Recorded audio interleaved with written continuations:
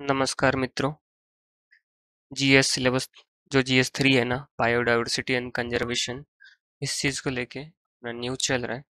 तो इसमें देखेंगे कि भाई क्या करना है और क्या क्या घटनाएँ हो रही हैं कहाँ कहाँ लॉसेस हो रहे हैं, ठीक है? तो डाउन टू अर्थ में वाटर क्राइसिस को लेके बातें की जा रही है। ये जो न्यूज़ है ना, ये डाउन टू अर्थ का न्यूज़ है, ठीक है? तो इसमें बोला गया है कि भाई भयंकर वाटर क्राइसिस डीलिंग स्टार्ट हो चुकी है। लोग फेस भी कर रहे हैं और बहुत सारे एस्टिमेशंस दिखाए गए हैं कि 2050 तक कितने की ऐसी तैसी होगी। ठीक है। तो इसमें जो डब्ल्यू आर आई है ना वर्ल्ड रिसोर्स इंस्टीट्यूट उसकी कुछ डेटा रिलीज़ हुई है एडिक्वेट वाटर रिस्क को लेके तो वो सब सारी चीज़ें अपन देखेंगे।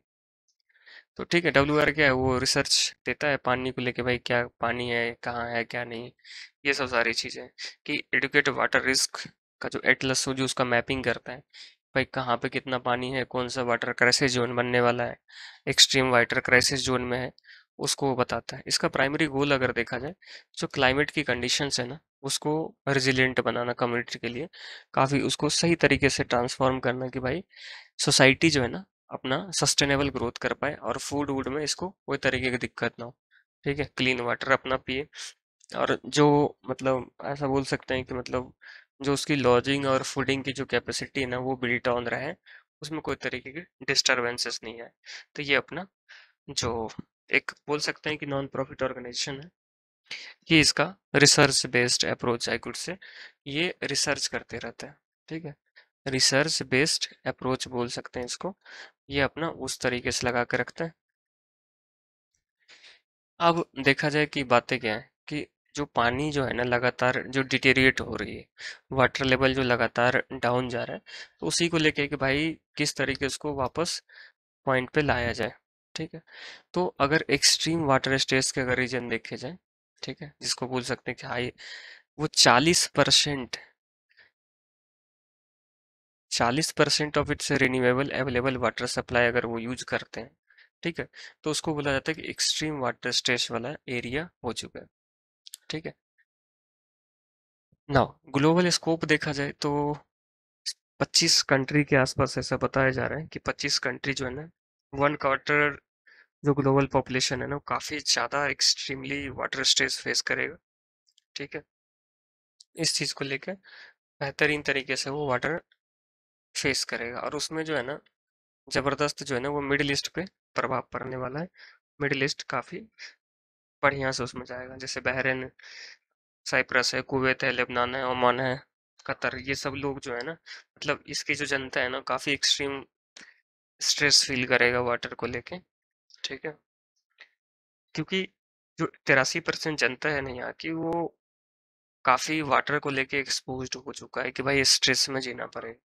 ठीक है। एट्टी थ्री परसेंट जनता है और साउथ एशिया की अगर बातें करेंगे तो उसमें तो अभी भी बचा हुआ है, ठीक है। एट्टी थ्री परसेंट जो है ना, वो उसका है अब सेवेंटी फोर सेवेंटी थ्री के आसपास जो है अपना साउथ एशिया का ये डाटा है, ठीक है। साउथ एशिया जो अपन लोगों वाला रीजन है, वो कम है, पचहत्तर परसेंट तो स्ट्रेस में है वो भी, लेकिन कम है। और उधर वाले जो है, मिडिल ईस्ट वाले, नॉर्थ अमेरिका वाले, वो बेहतरीन फेस कर रहे हैं। भाई रीजन क्या है? भाई इतनी एग्रीकल्चर में लाइव स्टॉक में और जो सेमीकंडक्टर बन रहे हैं। ठीक है, उस सब में इतनी सारे पानी यूज़ करी जाती है, जो चिप ही बनाई जाती है ताइवान या साइड पे, ठीक है, चाइना में लो तो वो जो चिप बनाई जाती है मतलब एक रिसर्च में ऐसा बताया जा रहा था कि भाई, एक चिप बनाने में शायद बीस तीस हज़ार जनता जितनी पानी पिएगा, उतना पानी उसमें यूज़ हो जाता है। तो स्वाभाविक इतनी सोफिस्टिकेटेड टेक्नोलॉजी में अगर इतनी ज़्यादा अगर पानी अगर खर्च होगा, ठीक है? तो स्वाभाविक है स्ट्रेस तो आएगा वाटर लेवल जो है नीचे जाएगा नीचे जाएगा तो सब के सब भुगतेंगे फिर, ठीक है? अब अगर देखा जाए कि भाई इन्वेस्टमेंट और इसका इंफ्रास्ट्रक्चर में क्यों नहीं ध्यान दिया जाए तो स्वाभाविक है कि भाई, दुनिया लड़ाई में बिज़ी है। तो इसका जो सस्टेनेबल इंफ्रास्ट्रक्चर डेवलपमेंट है, उसको अधिकतर लोग इग्नोर करके चलते हैं कि भाई चलो छोड़ते हैं, ठीक है? तो ये जो डब्ल्यू आर आई के जो रिसर्च बेस्ड अप्रोच है ना तो ये बहुत सारे डेटाज भी हैं कि भाई फ्यूचर में किस किस की बैंड बजने वाली, ठीक है? तो जैसे कि फ्यूचर प्रोजेक्शंस किया है कि भाई 2050 तक क्या होने वाला है। एक लाख एक्स्ट्रा लोग जो है ना वर्ल्ड वाइड वो और पानी की किल्लत से जूझेंगे, ठीक है? ठीक है। अगर ग्लोबल इनिशिएटिव अगर आपने लिया भी, ठीक है, उसके बाद भी वो करीबन करीबन जो है ना फेस करेगा। टेम्परेचर राइज होगा।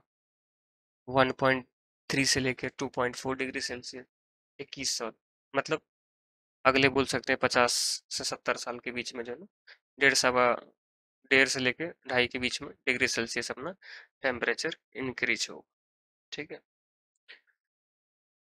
तो जब टेम्परेचर इतनी सारी इंक्रीज होगा तो स्वाभाविक है कि ग्लोबल वाटर जो डिमांड है ना, वो बढ़ेगा भाई। 25 से 30 परसेंट के आसपास जो है बोला जा रहा है 2025 तक जो है 50 तक जो है, वो इंक्रीज हो जाएगा। तो अब इस, अगर इतनी सारी चीज़ें अगर खराब हो रही है, ठीक है? अगर इतनी सारी चीज़ें अगर खराब हो रही है तो डेटा और भी चीज़ें बताती है कि 31 परसेंट जो ग्लोबल जीडीपी है ना, वो भी एक्सपोज होगा वाटर स्ट्रेस को डील करने के लिए 2050 तक, ठीक है? तो अगर इतनी सारी चीज़ें अगर खराब हो रही है तो क्या किया जा सकता है? तो स्वाभाविक है कि एक्सेप्शनल केसेस में अगर देखा जाए, जहाँ पे वाटर स्ट्रेस काफ़ी ज़्यादा थ्रेटनिंग कंडीशन में पहुँचा हुआ, ठीक है? तो जैसे सिंगापुर सबको देखा जाए, ये सब बढ़िया से डील करते हैं लॉस वेगास ये सब एकदम ज़बरदस्त तरीके से वाटर के स्कार्सिटी है वहाँ पे भी, लेकिन ना टेक्निक रखे हुए हैं, जैसे कि उसको डिस्टिलेशन यूज़ करते हैं वेस्ट वाटर का ट्रीटमेंट करते हैं वाटर इंटेंसिव जो वेजिटेशन होती है, उसको हटाते हैं। जैसे बोल सकते हैं कि भाई इंडिया इंडिया है तो भाई इतनी सारी वाटर जो है ना जैसे कि पैडी फील्ड्स में लगाई जाती हैं तो स्वाभाविक वो सस्टेनेबल तो है नहीं कि भाई एक तरीके से बोल सकते हैं कि वाटर एक्सपोर्ट होता है इंडिया से, ठीक है? क्योंकि धान की खेती में जो है, पानी बहुत ज़्यादा पड़ता है।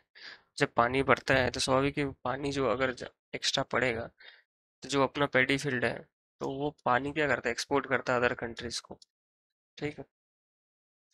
तो इस चीज़ों को जो है सुधारा जाएगा, ठीक है? इसके लिए बहुत सारे प्रोग्राम बनाए और जो नेचर का रिलीफ जिस तरीके से चाहे अर्बन प्लानिंग हो रूरल प्लानिंग हो इंफ्रास्ट्रक्चर प्लानिंग हो, ठीक है?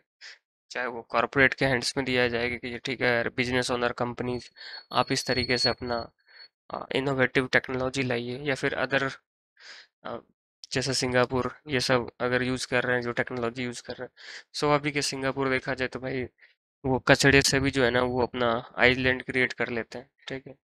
तो जो सोफिस्टिकेटेड टेक्नोलॉजी एकदम जो कंस्ट्रक्टिव टेक्नोलॉजी वो लोग यूज़ करता है टू सेव द इन्वायरमेंट तो एक बेस्ट एग्ज़ाम्पल जो है, सिंगापुर जो एक देख सकते हैं, ठीक है?